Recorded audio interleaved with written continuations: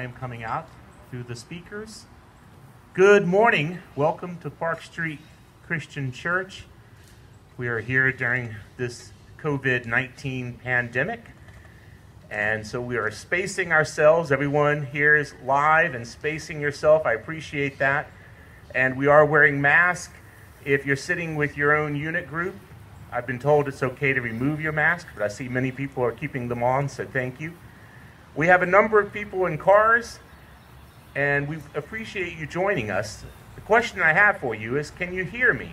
I should be coming to you live on WPSCC. That's WPSCC, I believe it's 87.9 FM. So if I if you can hear me through your radio, flash the lights twice. Okay, and if you can't hear me through your radio, but you can hear me live through the airwaves out here, flash your lights three times. Okay. And if you can't hear me at all, you probably can't flash your lights because you can't hear me asking you to flash your lights. But if you see my lips moving and you do not hear words, roll down your window and yell at me. Okay. Thank you. This is a beautiful day. I know it's cold, but I remember a month ago when we were complaining it was hot. So let's let's accept that it's a beautiful day and we're glad to be here. And I am glad for the people who've come, for the people who have joined us with their cars, and for those who will be watching this later on. Thank you. If you're watching this recorded, know that we were glad you watched it. Each household or each unit should have received a communion kit and it's largely your communion, which I learned has a wafer at the top. I always wondered about that, but it, really, there is a wafer included with your communion. And you should have that. And if you don't, we have a picnic table where I bet you can get one and we won't even charge you for it. Today, immediately following this worship service, we will have our annual members meeting. And it's only going to be about 15 minutes long. I would ask that you all stay. I've had some people ask, hey, I'm not a member. Can I stay anyway? And the answer is yes. Be- why? Why would we want you to stay? Because we want you to consider becoming a member and see how we operate. So, yes, you can stay. We want people here. We want you to tell other people, and we want to increase the membership. That's part of why we do what we do is to bring people together. There is some housekeeping, and I think most of you know this, but we have bathrooms, believe it or not. And you can go in and make use of the facilities, but we ask that you keep yourselves to your unit and no more than two units and keep your spacing. All of this at this point, we are over six months into this pandemic, so people know what to do, and we're glad that you are doing it. Maybe I should introduce who I am. You're probably going, wait a minute, why isn't Colleen talking? Believe me, I would prefer that she would do the talking. But she had this uh, cockamamie idea that maybe I should do it because I was the chair of Park Street Christian Church. Notice I used the term was. Up until October 1st, which was just a few days ago, I was the chair. I am no longer the chair and we will be introducing Mike Davis and get him nominated and approved officially as the chair. But that's why I'm talking, because I thought you'd like to see someone who has served mostly behind the scenes trying to help us run this church. Blessings, and once again, I thank you for joining us today. We will do a call of worship, which Colleen has put on the back of my messages. Do you have your call of worship with you? Wonderful. If you're tired from carrying heavy burdens, come to me, and I will give you rest. Take the yoke I give you, put it on your shoulders, and learn from me. I am gentle and humble, and you will find rest. This yoke is easy to bear, and the burden is light. Christ calls us to come to worship, to check the baggage we carry. Baggage that weighs us down with worry and distraction, to rest from the things that are troubling us, to learn what Christ can teach of life, to realize what we can offer to others. Let us begin with our unburdened celebration and worship of God. Please remain standing if you can, and if you can't, it's okay. You can sit. If you're in your car, don't try to stand, but join us as we sing our opening hymn. Our opening hymn is Christ is Made the Sure Foundation, and it is to the tune of, just to make it more complicated, no kidding, Angels from the Realms of Glory.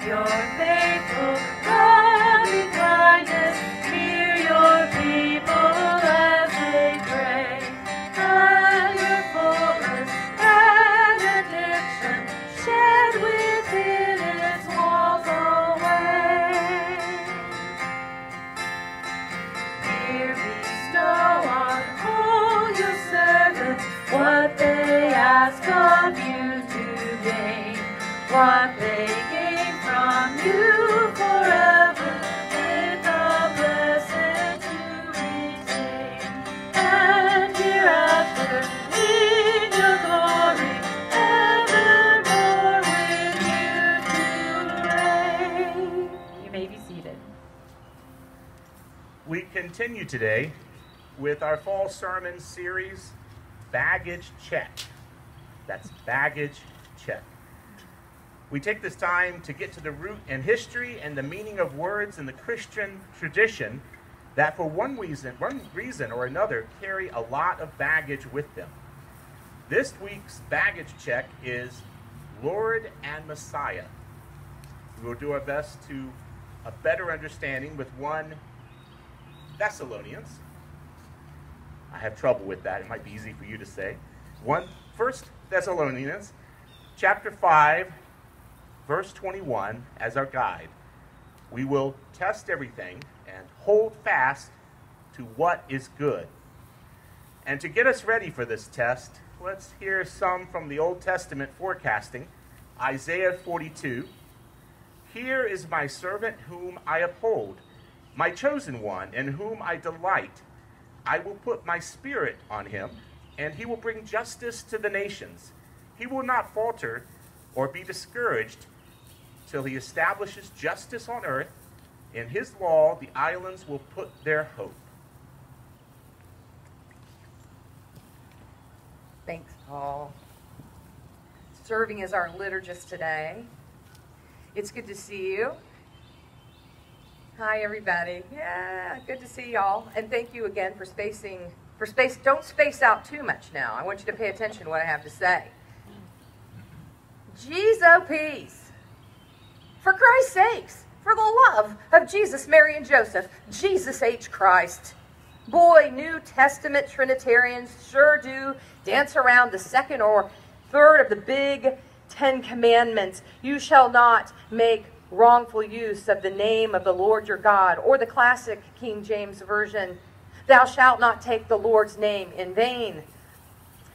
But the folkified versions I just mentioned earlier when I kicked this off are the tip of the iceberg when it comes to all of the ways we refer to our Lord and Savior, Jesus the Christ.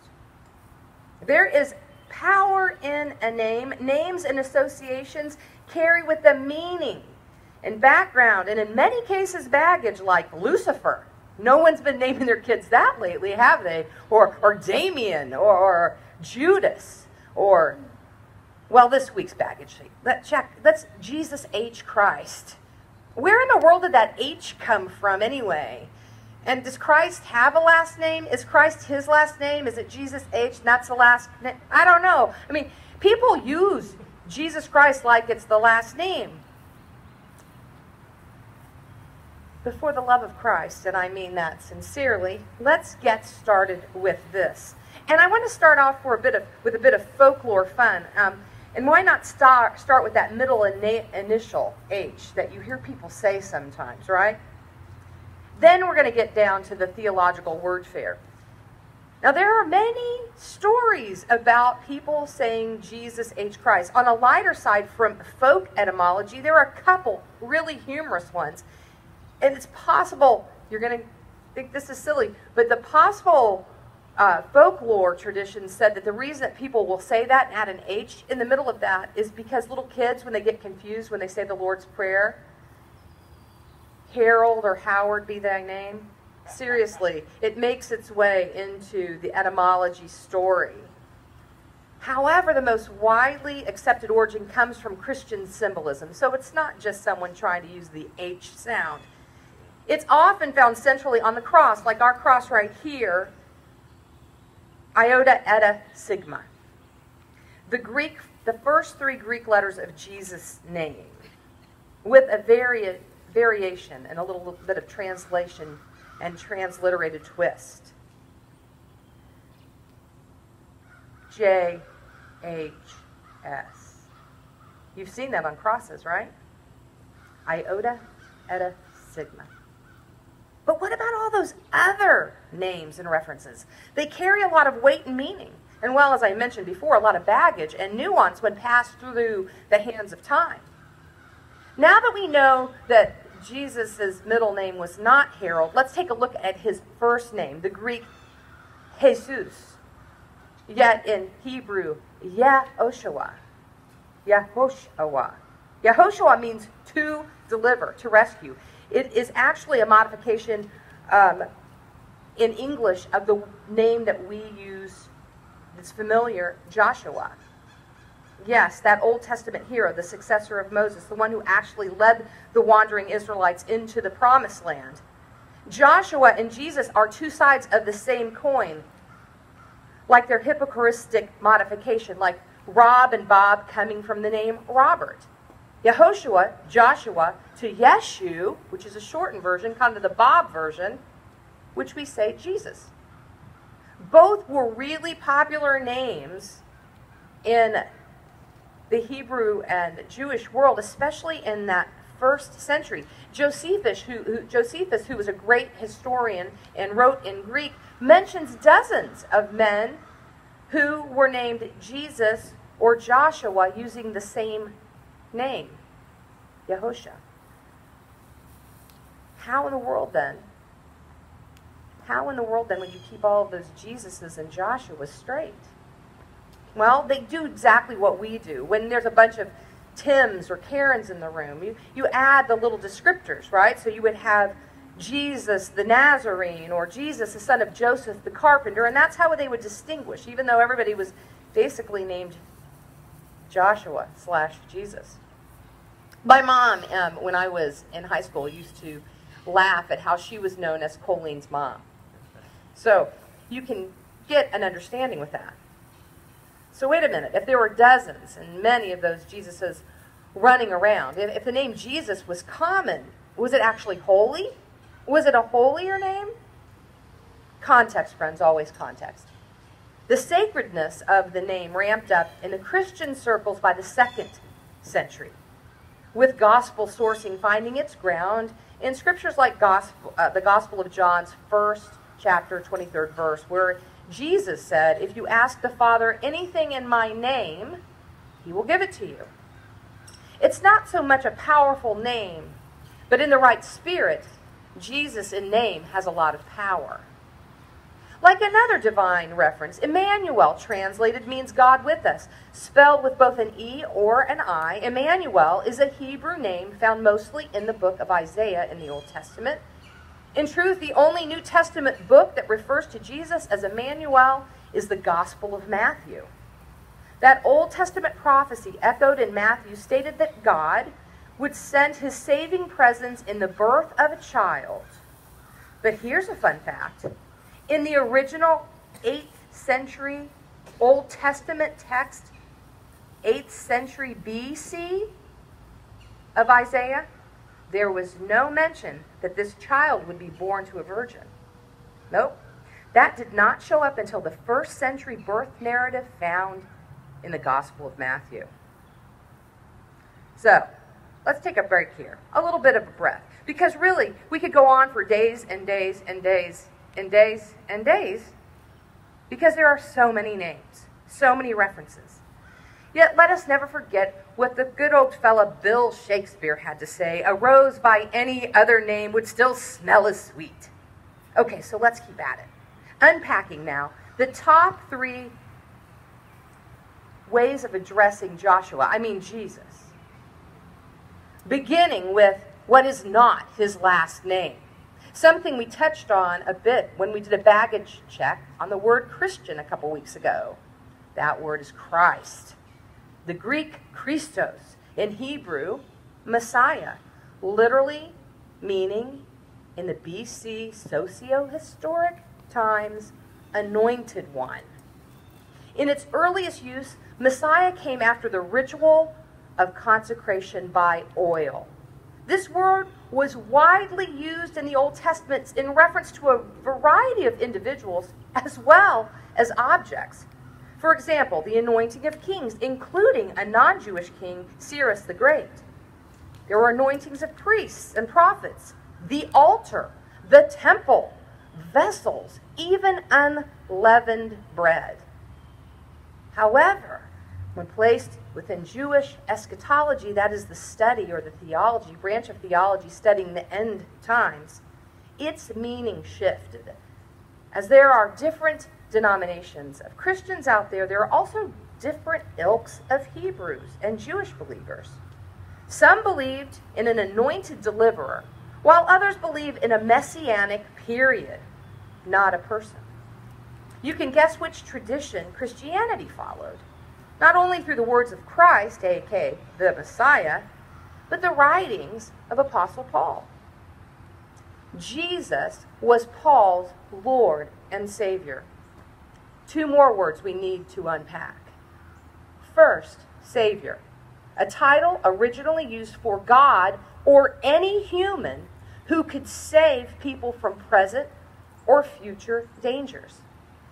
And finally, there's that last piece of luggage tagged property of Jesus that we need to do a baggage check for. And that word is Lord. Lord Jesus.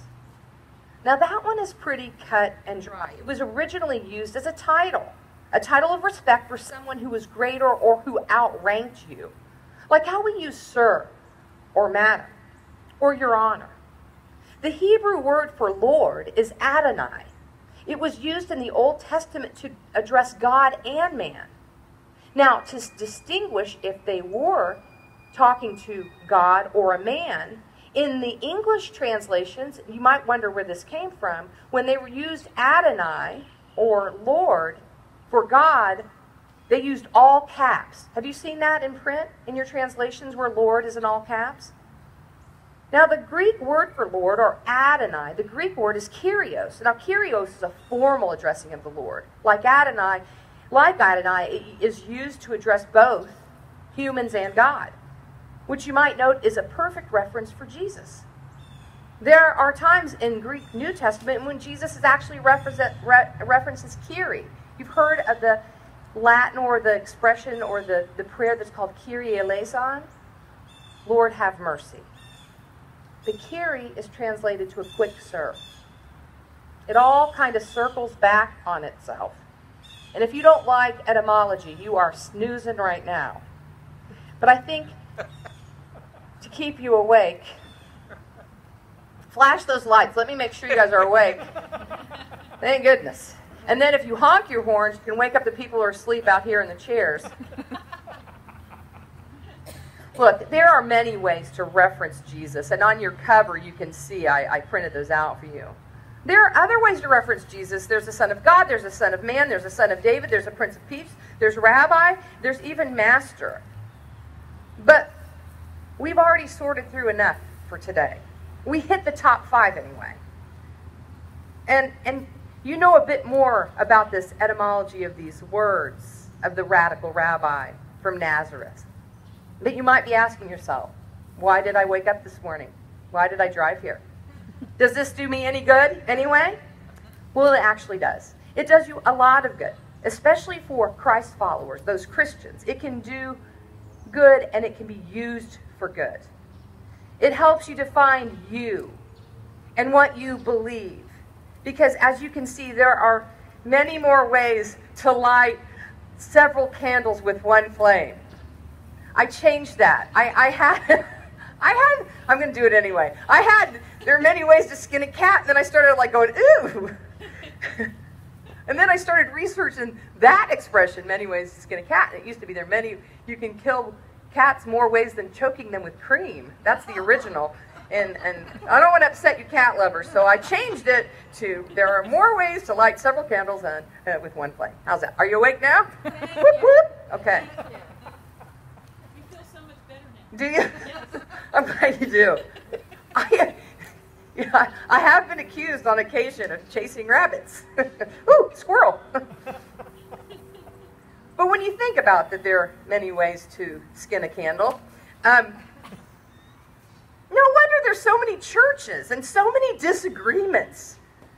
We have split so many hairs over the century that there's no conditioner that can control this mop, except, except having enough information to sit at a table or multiple tables with folks who maybe know a little bit more than you or who know far less.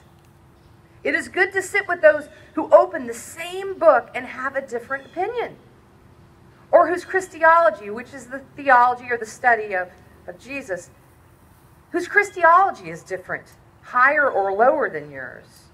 Because maybe, just maybe, with compassionate curiosity, you will be given a chance to hear their story and earn the right to share yours. Who Jesus was matters. It matters to believers. It is quite personal and quite often is packed with emotion. Different denominations have different opinions and questions as to whether Jesus was human, divine, or both. Was he a Messiah delivering people from death into eternal life, or a man whose teachings and leadership freed humans from their earthly sinful bondage? These questions are heavy and complex. So, no wonder there is baggage challenging the unity of believers, making it difficult for us to make room for everybody at a welcome table. I mean, who's got it right? Only Adonai knows. But one thing I do know I know that Jesus calls his followers to believe their beliefs, and that is with peace filled reason, compassion, not conflict, humbleness, not hubris, and no pomp, regardless of your circumstance.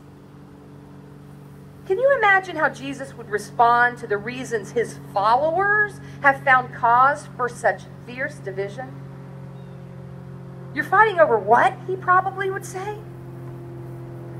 Instead, wouldn't it serve his cause and his followers better to figure out and understand how each of us got to where we are? To take the time to do a baggage check and lighten the load a bit and get on with this journey that calls us to love, not judge. As believers in the United States, we are in a heated battle for the soul, not only of our country, but the heart of God's people. Followers of the Messiah, the Anointed One, our Lord and Savior, Jesus H., the Christ. Therefore, my fellow word sleuth must check their baggage. It's not that we should check our sincere belief in Jesus. But we need to check how we share our love and devotion and opinion of who he was and, and in a way that would honor his life and his teachings and his sacrifice, his commandment that we love not only him and that we love not only God, but that we love one another. So, beloved, let us live as those who know Jesus by not all of his many names, but by his Spirit.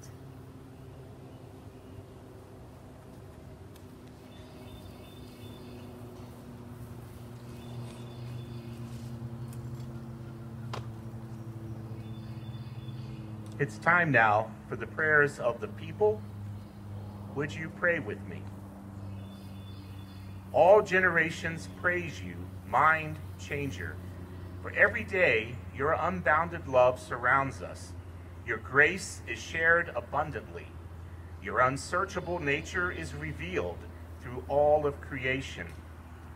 All generations praise you, Justice Singer, for in every place you show us the kingdom, standing by the side of the oppressed, showing your concern for the last, always with us wherever we are, especially those who we remember now in this time of silence.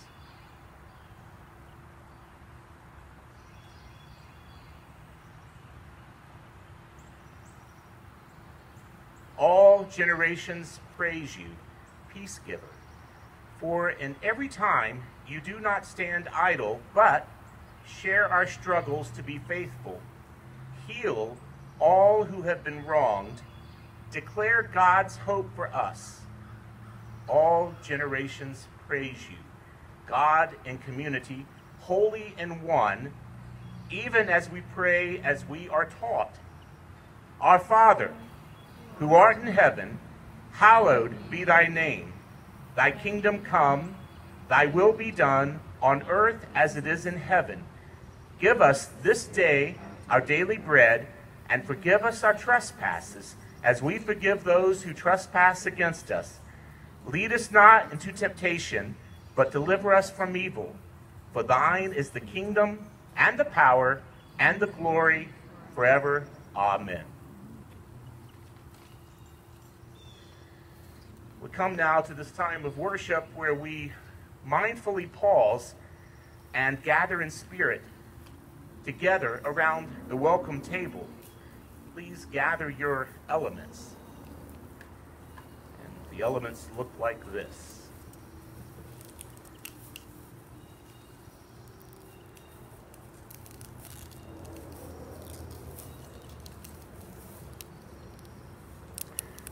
Come to the one who welcomes each and every one of us.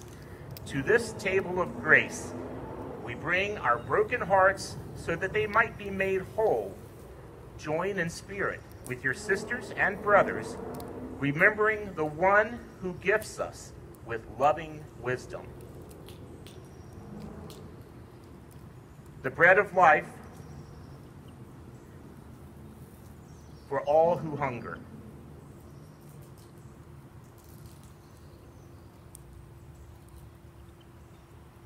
The cup, the cup of compassion for a broken world.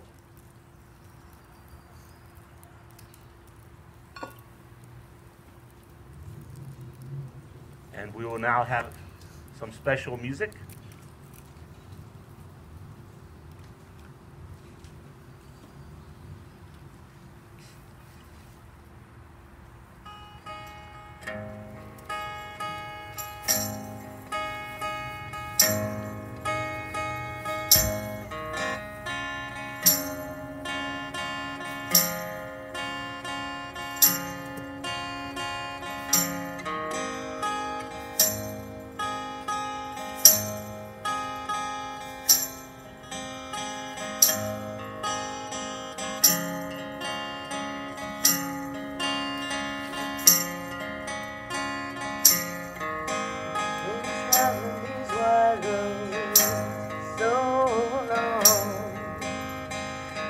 heart will come from you.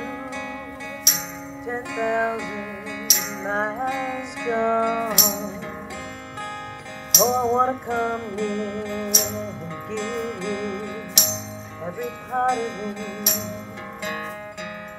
Blood on my hands, and my lips are unclean.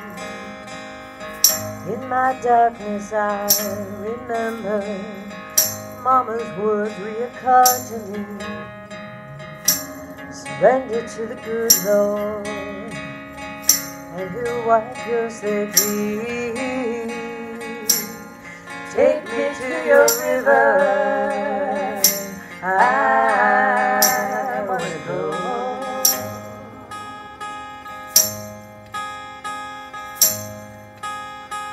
Oh, take your. I wanna go.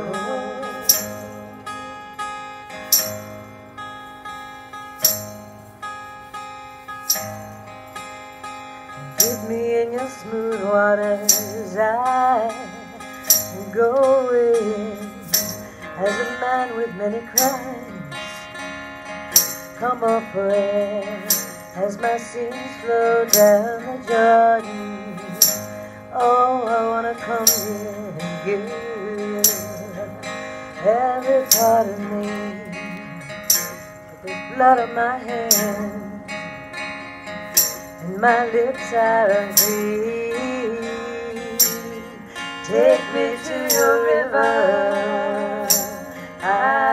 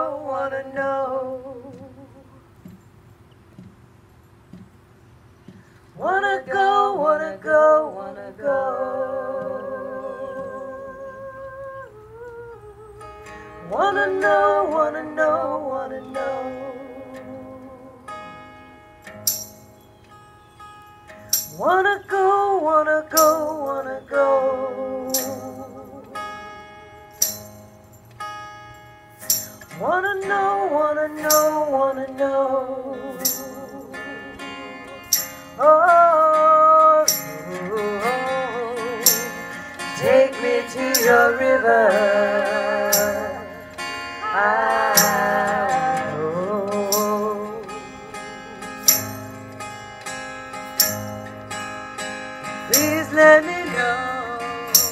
Take me to your river.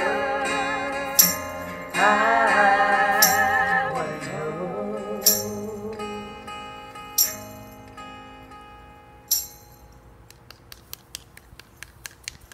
That's wonderful.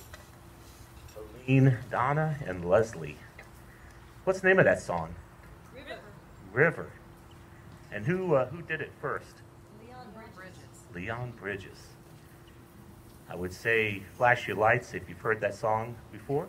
So let's just see. Yes. Oh wow. I need to get out more. I would like to invite up a good friend and the incoming chair, assuming you all elect him, Mike Davis. Please come forward.